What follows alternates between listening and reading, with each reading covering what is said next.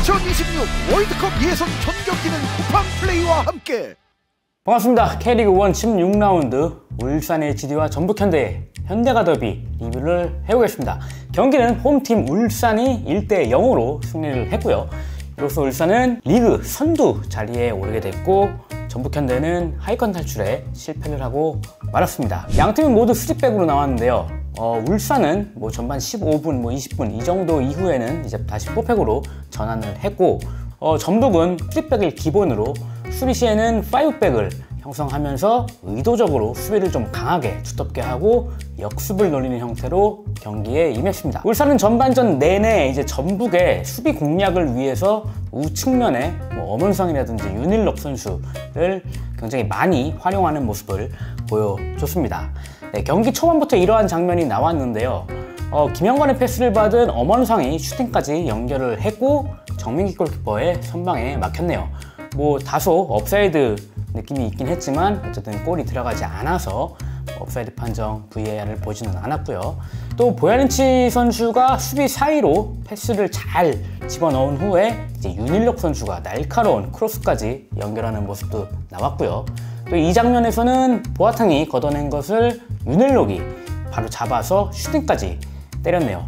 네, 이렇게 오른쪽 울산의 오른쪽 측면 선수들이 굉장히 좋은 모습과 활동량을 보여줬네요. 그리고 1분 뒤에도 좋은 찬스를 맞았습니다.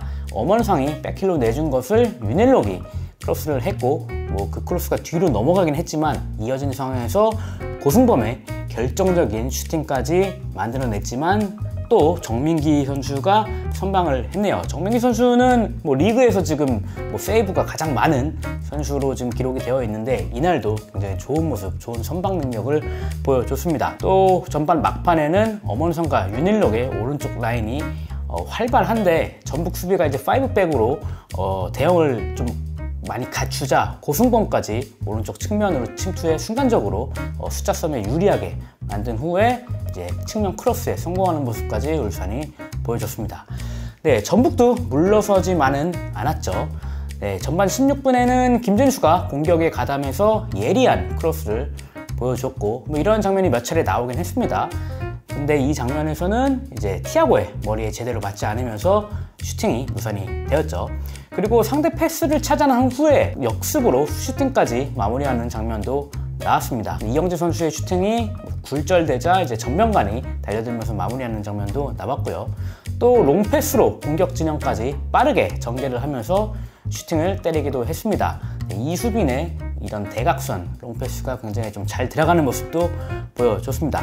네, 이렇게 전반은 6대4 뭐 혹은 7대3 정도 울산이 좀 우세한 경기를 펼쳤는데요. 전북은 후반 시작과 함께 송민규를 투입하면서 변화를 꾀했습니다. 송민규의 투입은 굉장히 좀 성공적이었는데요. 어, 그의 활동량과 좀 센스 이런 것을 통해서 전북이 분위기를 많이 가져왔습니다. 이 장면에서는 원톱으로 어, 송민규가 위치를 하고 있었는데 어, 송민규가 내려와서 받아준 후에 측면으로 또 공간으로 패스를 뿌려주면서 또 크로스의 기회를 만들었고요. 또 전북이 여러 가지 여러 차례 이제 패스 플레이를 통해서 왼쪽 측면을 공략을 했고 이것이 이제 송민규 박스 안에 있던 송민규까지 연결이 됐고 어, 송민규가 박스 안에서 밟아준 것을 이영재가 슈팅까지 마무리했지만 어, 정확성이 좀 떨어졌죠. 네, 울산도 이제 고승범의 슈팅이나 아니면 루빅손 그리고 주민규의 컴피 플레이를 앞세워서 울, 어, 전북을 괴롭히려 했지만 여의치 않았습니다. 오히려 후반 초반 전북의 기세가 치솟아 오르자 울산의 홍명보 감독은 후반 16분 아타루를 투입하면서 좀 분위기 전환을 가져오려고 했죠. 네, 그렇게 조금씩 페이스를 끌어올린 울산이 후반 중반에 좋은 찬스를 맞았습니다. 후반 22분 프리킥 상황에서 주민규 선수가 골을 넣었지만 결국 옵사이드 판정을 받게 되었습니다.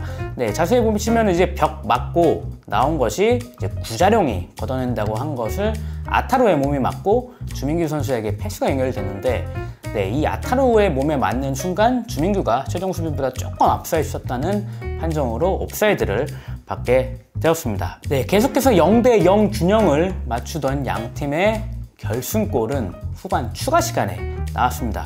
후반 추가 시간 3분 윤일록 선수가 중원에서 볼을 뺏어낸 후에 어, 수비 다리, 다리 사이로 돌파를 했고 아타로의 측면 전환 그리고 엄원상의 컵백에 이어서 다시 한번 아타루가 볼을 잡아서 왼쪽 왼발로 어, 슈팅을 이어가면서 울산의 골망을 흔들게 되었습니다.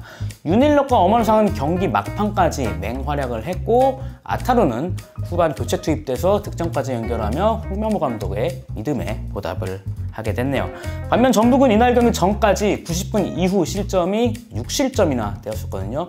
근데 이날도 후반 추가 시간 3분, 93분에 또다시 실점을 하면서 눈물을 삼켜야만 했습니다. 네, 이날 경기 히어로를 뽑아보자면 뭐 득점을 뽑아낸 아타루도 있고 그 득점을 어시스트한 엄원상도 있지만 어, 저는 개인적으로 어, 윤일록 선수를 뽑고 싶습니다.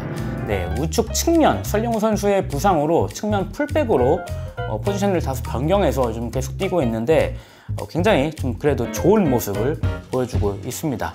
네, 전북을 상대로도 전혀 밀리지 않는 그런 측면 수비와 그리고 울산 공격의 시발점 역할을 이날 경기에서 굉장히 많이 보여줬습니다. 네, 울산은 이날 승리로 리그 1위에 오르면서 A매치 브레이크에 돌입하게 됐습니다. 굉장히 기분 좋은 상황에서 2주간의 휴식을 얻게 됐고요. 반면 패한 전북은 김도현 감독 체제에서 2연패를 당하긴 했지만 그래도 좀 이제 A매치 휴식기 이후에 그런 행보가 좀 기대되는 상황이라고 볼 수 있습니다. 왜냐하면 결과는 안 좋았지만 그래도 뭐 예전에 올 시즌 초반에 그런 단페트리스구 감독 체제 하에서의 그런 플레이 것들과는 굉장히 다른 모습 후방에서부터 좀 만들어가려는 이런 모습들이 나왔기 때문에 조금만 이제 김도영 감독의 축구가 시공간을 지배하겠다 이런 축구가 조금 더 자리 잡으려면 시간이 필요했던 만큼 2주간의 A매치 휴식기는 굉장히 전북에게 중요한 시간일 것 같습니다. 한편 이날 문수 축구 경기장에는 2만 9천 7명의 어, 팬들이 가득 찼는데요. 어, 올 시즌 K리그 1 91경기에서 어, 100만 관중을 돌파했다고 합니다. 네, 이는 2013년 승강제 이후 최단 시간 100만 관중 돌파인데요. 참고로 작년에는 96경기 만에 100만 관중을 돌파했고 올해는 5경기에 빠른 그런 페이스를 보여주고 있습니다. 많은 축구 팬들의 성원 덕분으로 보여지고 또 뜨거운 열기 계속해서 이어나갔으면 좋겠습니다. 저희는 다음 경기, 다음 리뷰 시간으로 돌아가겠습니다. 감사합니다.